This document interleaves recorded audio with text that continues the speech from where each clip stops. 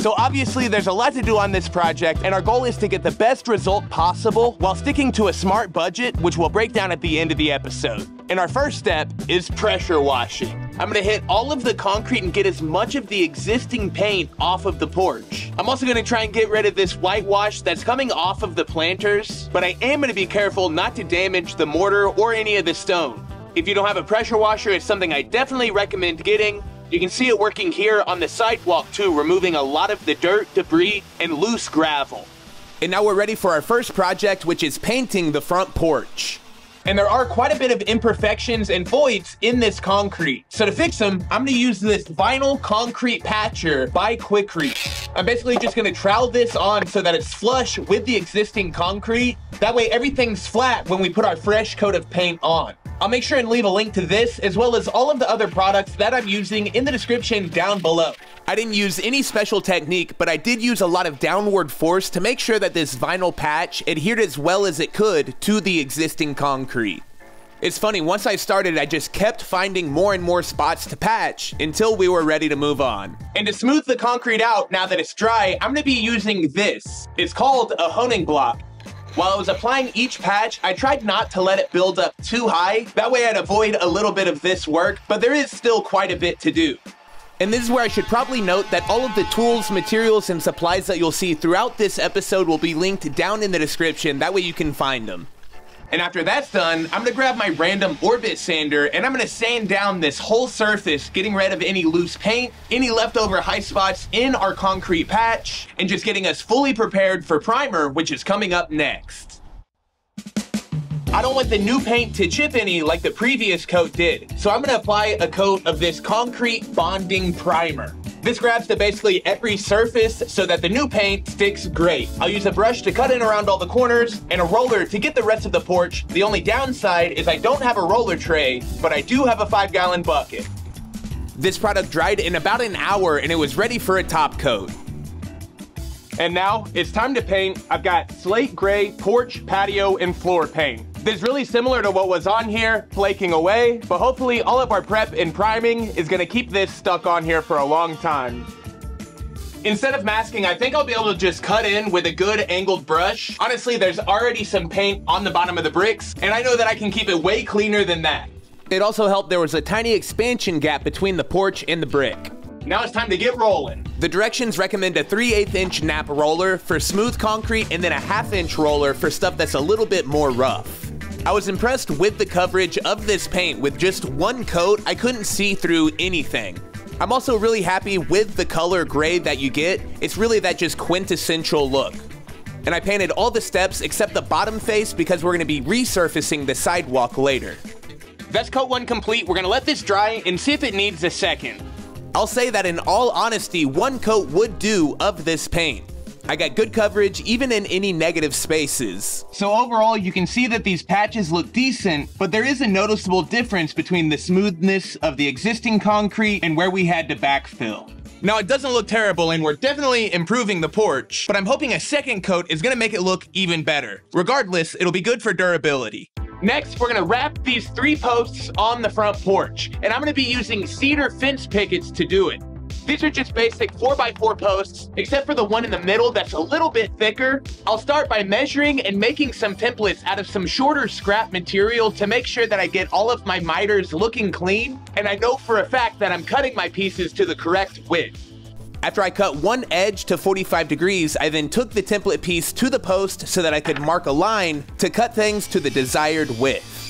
And the goal here is just to be a tiny bit oversized on all four pieces to make sure I don't have problems with shrinkage over time. Oh man, that's perfect. Awesome. I did a rinse and repeat of those same steps to create a second template for the middle beam. Like I mentioned, it's a little bit wider.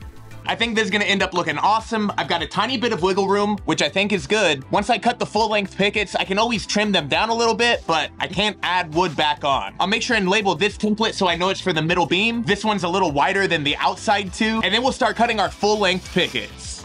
Cedar is great for outdoor projects because it's water and weather resistant. Plus, at Lowe's and Home Depot, these cost like 250. I cut the first 45 degree edge on all my planks, then I brought my template back so that I could set my fins to cut the other 45 degree edge on each picket. In total, I needed 12 of these boards, and I labeled all of them individually on the inside because after I cut them to length, they were really specific to where they went, whether it was on the front, the back, the left, or right of each beam. Before I installed these onto the post, I sanded the cedar with 120 grit just to smooth everything out, and it is crazy how much of a difference it really makes. Cedar is soft, so it's easy to sand. Now let's see how this cedar fits. Nice. And I'm using inch and a half long 16 gauge nails. Perfect. I'm gonna add glue to each of my miters, but not to the post. This seems to make sense with expansion and contraction with wood to me, but if I'm doing anything incorrect in this video, uh, just leave me a constructive comment down below. I made sure that there was no gap between the cedar and the ceiling of the porch. That way we won't have to add any extra trim, but I did make sure there was an eighth inch gap between the planters below. That way water and air can move freely. And cedar is a pretty soft wood, so it's a good idea to turn down the pressure on your nail gun. I'll grab a couple close-up shots, but these posts look awesome. The miters are super clean, and I've just got a couple of really small gaps to fix. To fix this one big gap, I got some outdoor rated wood glue and squeezed it in there. Then I got some scrap cedar and filled the rest of that space. While that glue was drying, I added wood filler to all of the nail heads and any small gaps that I could find in any of my miter joints, then trimmed up this repair with a flush trim saw. And then finally, I sanded everything with 150 to prep it for stain. And it's important to sand this really good without any dried glue on the surface, because if there are any, you'll get splotches in your finish. And FYI, I'm using Cedar Natural Tone Stain and Sealer by Valspar. I just picked this up randomly, and I love this color. I see other brands carrying Cedar Natural Tone as well. I don't know if it varies brand to brand, but I know that I like this one by Valspar. And here's how our new cedar wrapped posts looked once they had a little bit of time to dry. A plus.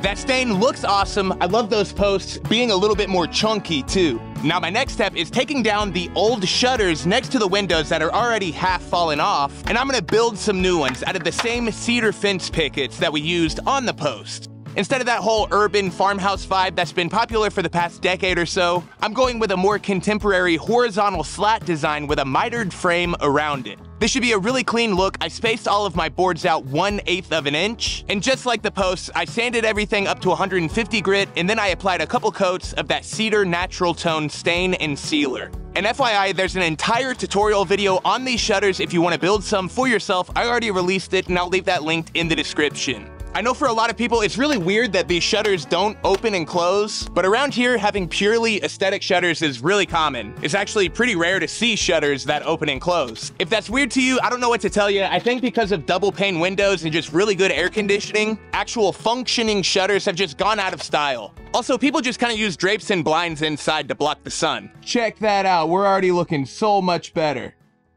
And next on the list are these planners. And really quick, before we move on, I'd like to give a big thanks to the sponsor of today's episode, Squarespace. If you need a website, online store, or just a custom domain, Squarespace is your one-stop shop, and you need zero website building experience. And now with Fluid Engine, Squarespace's next generation website designing platform, it has never been easier to unlock your unbreakable creativity. With features like their enhanced drag and drop editing on both desktop and mobile. Not to mention, there are no limits to the number of products that you can sell using a Squarespace store, whether that's a physical good, a digital good, or a service product. And if you're somebody that takes payments in person, Squarespace has got you covered. By connecting the Square card reader to the Squarespace app, all of your sales, orders, and inventory are up to date online and in person. To learn more and to build your own Squarespace site before entering any of your credit card info, make sure and check out my link down below. That's squarespace.com slash modern builds. And then when it's time to make your website live, don't forget to use my code modern builds for 10% off your first site, store, or domain through Squarespace. So as always, big thanks to Squarespace and thanks to you all for watching. And the next thing on our list are these planters. First, I'm gonna fix any cracks or gaps between our stones with a tube of this mortar repair. There were a decent amount of voids and cracks, especially once I started getting into it, the same as what I found whenever I was filling the voids in the front porch. All in all, I really took my time though because I did notice a few jiggly stones before I did this step, but once this dried, that was no longer a problem. To paint these planers, I'm using Behr Exterior Satin Enamel. This is called enamel, but it is still latex based, so I thinned it down with a little bit of paint, I would say maybe 10%. That way it would soak into the stone and mortar a little bit better and match that texture rather than sitting on top and it also allowed the stone color to peek through the white in just a few places. It's kind of hard to see on camera though, it kind of tries to blanket it white. I am happy with the look and it freshens things up, but really quick, we're gonna break continuity and go backwards in time and showcase how I fixed this sidewalk. This project took basically over a week and I was doing all of the other steps simultaneously. After I cleared away the dirt from the edge of the concrete, I then mixed up some vinyl concrete patcher by Quikrete. This isn't the resurfacer that we're gonna flood coat the sidewalk with, but it's what I'm using to backfill all of the negative spaces and get things flat. This is one of the worst sidewalks I've seen. Not only does it have a really big crack down the middle that we were able to backfill with this vinyl patch, but it was just really, really water damaged. This house didn't have gutters, and so the water was falling right off the roof onto the sidewalk for 50, 60 years since the house has been built. Don't worry though, literally tomorrow, the day that I'm recording this voiceover, we've got a gutter guy coming to quote. If that's a good price, we'll hire him and we'll get gutters around the whole house. And if it's not a fair price, we'll just get another quote until we find a contractor who gives us one. To smooth this all out, I'm gonna be using a product called Quikrete Recap. This is a self-leveling product that you flatten out with a squeegee, and it should just lay flat and look really good. Compared to normal concrete, you mix this up really thin. You want it to be able to flow and self-level. And the squeegee does a good job of moving a lot of material around. It says to kind of scrub it in, so I'm gonna do that a little bit. I would have benefited from these bags being 10 pounds heavier, that way I had a little bit more to work with. I got it pretty flat, but you can see it's definitely not perfect in this shot, so we'll do a second coat. I think my technique is going to be better on this second pour. I'm basically going to lay out all of my concrete along the back side of the slab and then pull it towards the front of the sidewalk, which is the low spot. This time I used the broom right away rather than the squeegee. I just found I had a lot more finesse with it, and rather than digging in and making divots, it really just pushed and eased the concrete around. I thought this was gonna be perfect, but I was wrong. Welcome back. So it didn't rain last night, it snowed and it froze. It's already warm again this afternoon, but the sidewalk, well, let me just show you. The whole last pour is trying to peel away. Look at that. Oh no! I'll get this uncovered and then we'll start making our plan. What I expect is we'll just have to peel away that last concrete pour and then just do one more coat of that Quikrete recap. Look at it. Oh my gosh. Dang it. We've got some work on our hands. I do want to clarify that this was 1000% user error. I think on the bag it says not to pour this if it's less than 50 degrees, maybe 60. But Oklahoma has notoriously weird weather, like we're getting really warm days, but it'll just freeze overnight.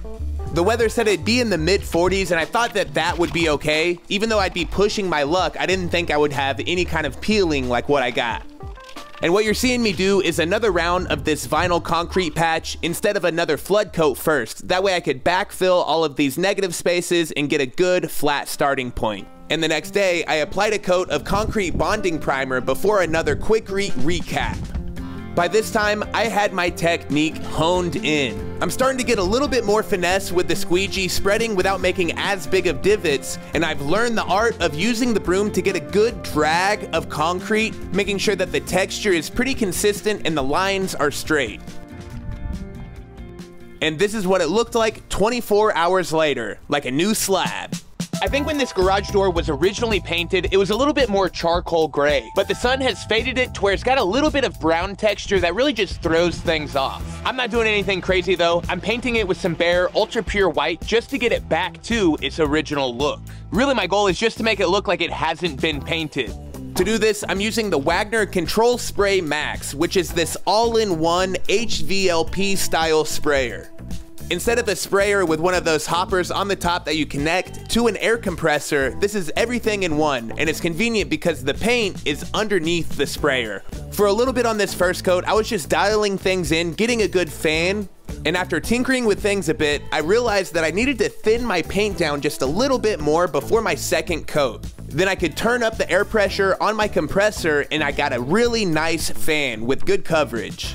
In total though, I did do four coats just back to back, top to bottom. And we've successfully reversed it back to looking basically unpainted. Next, we're gonna be moving to the other side of the house where we can focus on what used to be some flower beds. You can see that landscape fabric sticking through. I used a chain and the tractor to pull up these bushes with the root ball attached. That way they can be reused somewhere else. Oh, yeah! This was a super fun process. I'll pretty much take any excuse to hop on the tractor. It just makes quick work of a lot of tasks, like digging out this entire flower bed in just a few scoops. Including three or four layers of landscape fabric, it was kind of like an onion. Oh, and thanks to my dad and mom for some help on different aspects of this project. They've been stopping by after work and giving me a hand here and there. It's been a good family project. Plus, we're getting a lead on spring tackling this in February. We'll be listing the house for sale or rent early spring when everybody else is busy doing projects like this getting their listing ready. In a couple weeks, we'll have a real estate agent come through to appraise. But for now, let's get back to these flower beds. Let's lay down some edging pavers. I'm basically stealing this technique from some short form content where I see people use a line like this to lay out cement blocks or bricks. We've got a lot of play with the margins that we're working with. It's just to keep me on track. Now I need a little dirt under here, that side. So what I've done is I've built up this side so I can compact that dirt down until these two bricks are level. And I already know I'm gonna have to build up this right side a little bit to get it where I want. I add more dirt than I need, that way I can compact it back down. And honestly, I think that's almost exactly what we're looking for. Still a little bit high, that's good.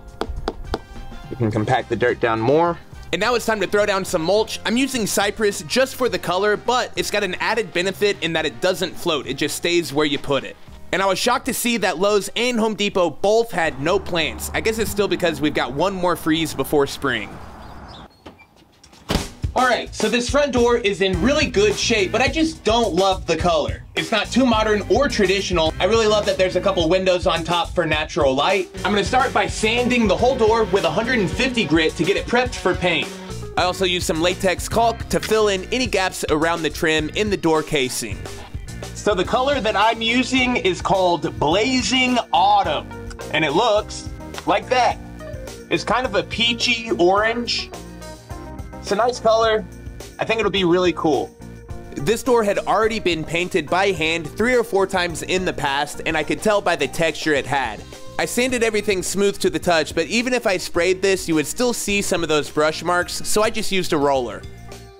And while all that paint is drying, I'm gonna take care of this eyesore, which is the front light and this outlet that they extended underneath. And I found the perfect solution. Not only is this a good modern light that updates the look, but as you can tell on this side, it's got a built-in outlet. I had never seen one of these before, but I think it's gonna do an awesome job of updating the look of this light and then giving us the functionality of the plug without all of this visible conduit. They did surface mount this box for the fixture rather than insetting it into the brick, so that means that our light's gonna be offset from the wall just a little bit, but I'm not too worried about that right now. What I wanna do is get the light hung up, get it wired to make sure that it does Boom. work, and then we'll trim behind it. Dang it, that was supposed to turn on. Or doesn't. Make sure the bulb... It works! And with that, we are done. Let's go back before we did anything to the outside of this renovation. Yes, it was rough, but it honestly had good bones. It's just a simple traditional ranch, not anything crazy or mid-century. It's almost more cottage style, but I like a lot about it. The stone on the planters, the bricks on the wall, but it was in desperate need of some TLC. So now let's check out these afters. So it's safe to say we've come a long way. Basically every finish and detail in this front has been updated. Aside from the gray brick on the wall, that is, because I just like the way it looks. In fact, that's what I built this whole color scheme around to liven everything up. The cedar with the natural tone stain gives this front the vibe that it has.